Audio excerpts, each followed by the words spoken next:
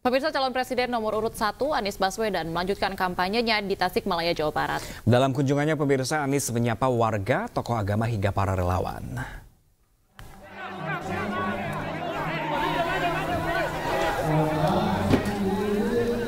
Kehadiran Anies Baswedan dan sang istri di Tasikmalaya langsung disambut ribuan warga meski diguyur hujan deras.